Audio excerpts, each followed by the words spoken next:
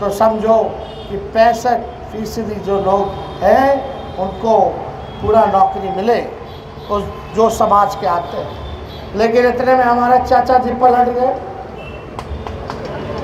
हम लोग नौकरी दे रहे थे, मानदेय बढ़ा रहे थे, जाति आधारित गणना करा रहे थे, आरक्षण बढ़ा रहे थे, सारा काम कर रहे थे, लेकिन वो पलट गए।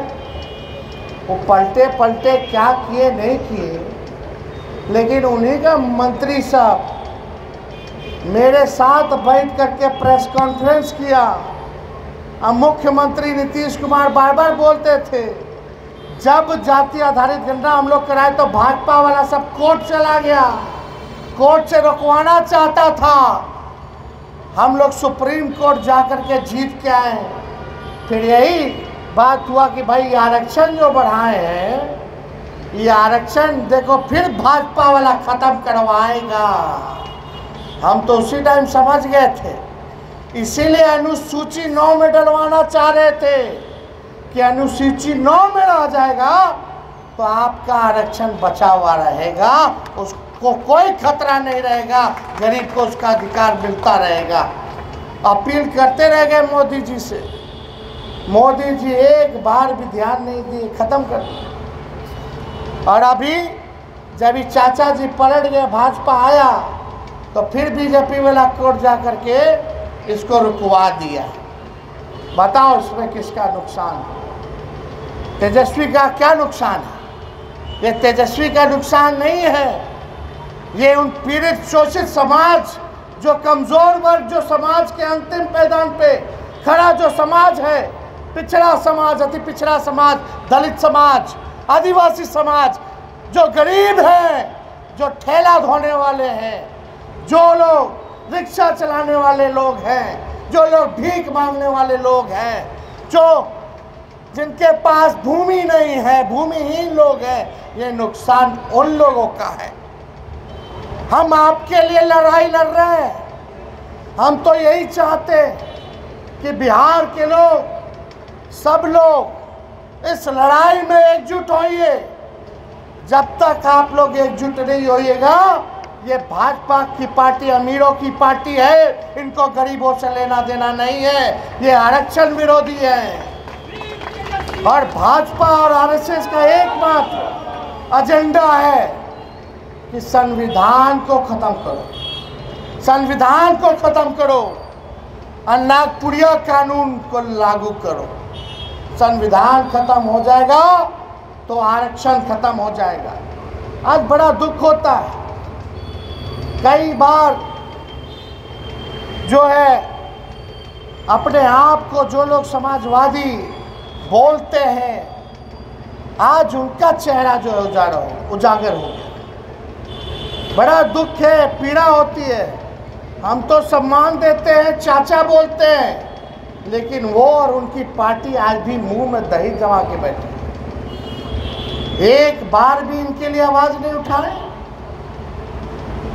आज उनके बदौलत अगर भारत में सरकार चल रही है, उनके पार्टी के लोग मंत्री हैं भारत सरकार में, अगर भाजपा ने मना कर दिया आज जातीय जनगणना कराने से, नौवीं अनुसूची में बिहार का आरक्षण को डालने से तो जितना बड़ा दोषी भाजपा है, उतना बड़ा दोषी नीतीश कुमार जी भी है। डबल इंजन की सरकार है, चुप्पी साधे। यहाँ बता, लेटरल एंट्री करा दिया गया। जो गरीब है, पिछड़े समाज के, अति पिछड़े समाज के, दलित समाज के, उनको तो भिखारियाँ बनाना चाहते लेकिन कोई लोग अगर मेहनत करके पढ़ ले आईपीएस का तैयारी करा ले, आईएएस का तैयारी करा ले तो उसको भी ये लोग नहीं घुसने देना चाहते। अभी 45 को पद निकाल दिया I S I P S का बिना आरक्षण को लागू किए हुए, बिना परीक्षा को लिए हुए, उसको कहते हैं लेटरल। लेटरल करके लेटरल एंट्री के बहाने कोई परीक्षा नहीं होगा ये I S I P S बनेगा तो। यूपीएससी क्या करेगा? उसका परीक्षा है, नियम है। पूरी सिविल सर्विसेज़ के लिए तैयारी होती है। जो दिन रात मेहनत करके I S I P S बनना चाहता है, उनका क्या होगा? ये सोचने की ज़रूरत है। यही कृषि विभाग में एकल पद के बहाने आरक्षण को ख़त्म कर दिया है भाजपा के लोगों ने। और दुख की बात है कि कृषि मंत्री अपने आप को ओबीसी कहते हैं, भारत सरकार के। मोदी जी पिछड़ा कहते हैं। और फिर बोलते हैं अभी इंटरव्यू में, चुनाव में जो नारायण चौधरी जी ने बोला कि हम तो इंसान है, ये नहीं है, हम तो भगवान के रूप हैं। ये बात बोलने वाला व्यक्ति तो आप लोग सब लोगों को ये हम लोग कहने आए हैं कि एकजुट होइए। और लड़ाई लड़िए, अपने अधिकार को जानिए। कहावत है ना, जो सोवत है तो खोवत है। सोए रहोगे तो खोते रहोगे, कुछ होना ना जाना नहीं है। जो आज थोड़ा बहुत कई लोगों के कुर्बानियों के बाद, संघर्षों के बाद, हमारे समाजवादी नेताओं के संघर्षों के बाद, लालू जी के संघर्षों के बाद, जो कुछ भी सम्मान मिला है, आवाज़ मिला है लालू जी ने दिया है, वो भी लोग छीन लेगा। इसलिए आप लोग सब लोग एक होइए।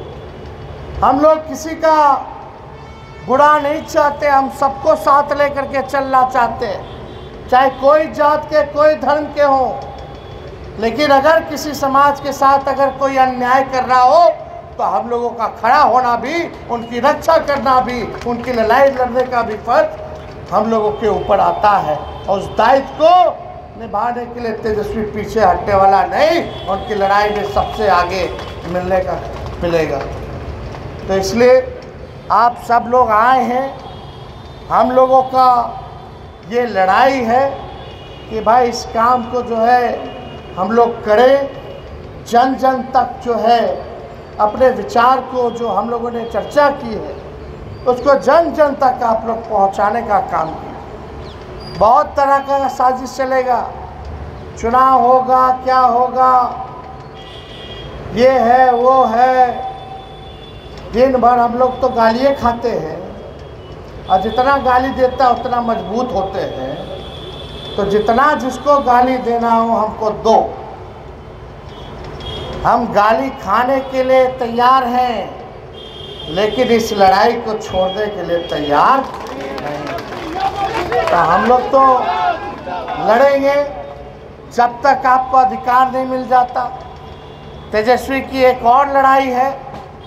हम चाहते कोई ऐसा नौजवान ना रहे, बेरोजगार, जिसके हाथ जो है खाली रहे। मेरी इच्छा है कि हर एक बेरोजगार को हर एक नौजवान के हाथ में हम लोग काम देने का काम करें ताकि उसका घर चलता रहे। उसका जीवन भविष्य सुधरे।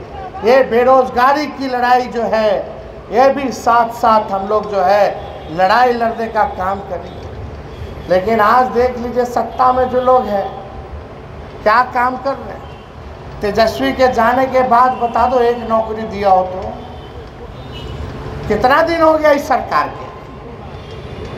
अब भाजपा के एगो ना दू दू गो डिप्टी सीएम।